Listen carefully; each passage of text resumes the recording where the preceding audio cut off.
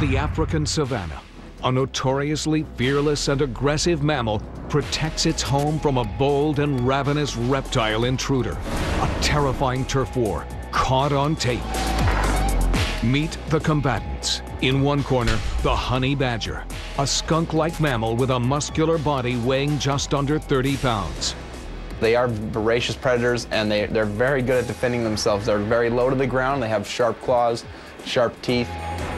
The opponent, a ruthless reptile. The monitor lizard can grow up to 10 feet long. The biggest thing the monitor uses its, is its tail, and that usually whips around and is very, very strong and can also cause a lot of damage. Now hunting its next meal, the monitor dares to invade the badger's turf. It's a deadly mistake.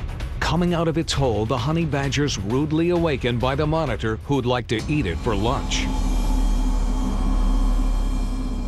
The lizard violently swings its tail, hoping to pummel the badger, but it misses.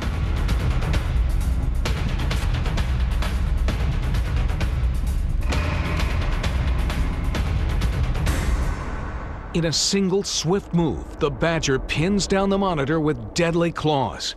Next, it disables it with devastating jaws.